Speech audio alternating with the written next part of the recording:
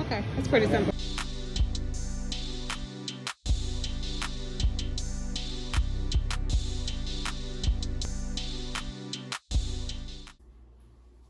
It is nine o'clock at night and I just received an alert text reminding me that it was leg day today. Shoot.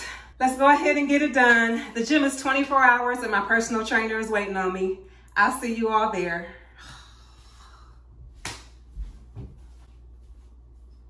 Nine twenty-two, and I just made it to the gym. Let me go ahead and knock out this leg day. Ah!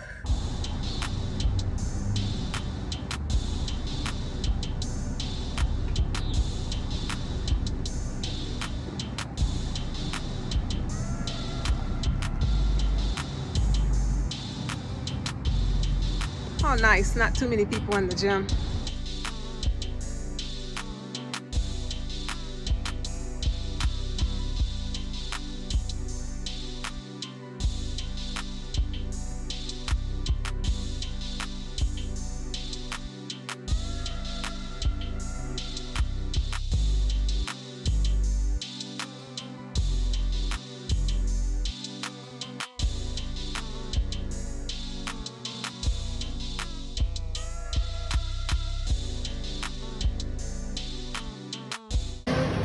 This is how you move this pad right here. So you go back and forth like this. This is how you move that pad. I like to put it about right here on my leg. And this part right here, put that down to your to compress against your thighs like this. And then you get this. When you come down, you want to make sure you pull your legs all the way back like this. Like that. How you do that machine. Oh, look. Man.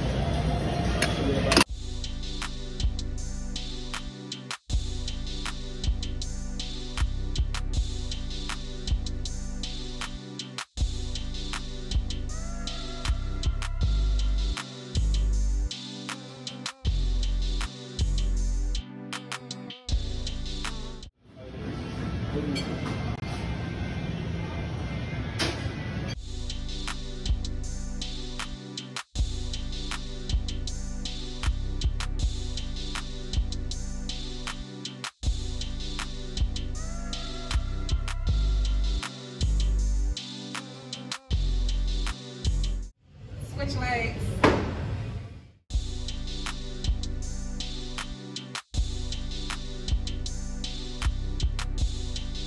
You want to extend as much